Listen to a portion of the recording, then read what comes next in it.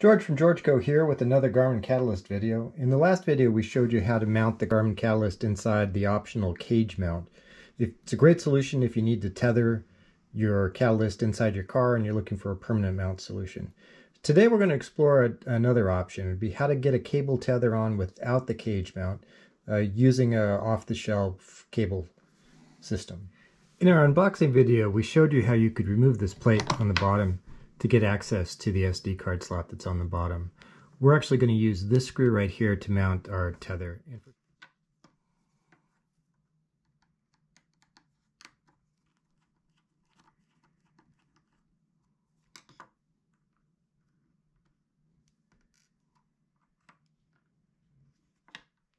So we're going to take our cable tether that we reshaped. We had to shave it down a little bit and bend it to match the contour.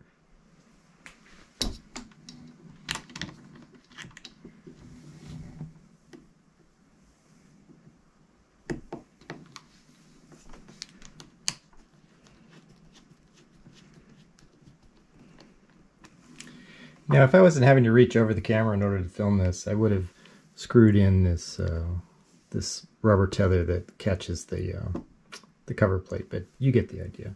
So then, with that in place, I can still snap this in. There you go. And see, I just uh, bulging the bottom case just a little bit, um, but I've got a tether. And this is uh, solidly connected. That's not going anywhere. And with the suction mount, we put in this small carabiner. And so we could take a longer cable, and this cable we could wrap around the bar in the car, and then connect it to the mount.